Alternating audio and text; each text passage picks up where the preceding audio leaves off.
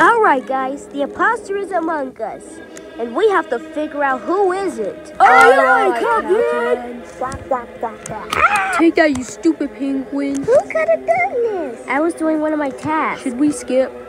Yeah, but I was with Penguin the whole time. Get him out of here. Wait, what?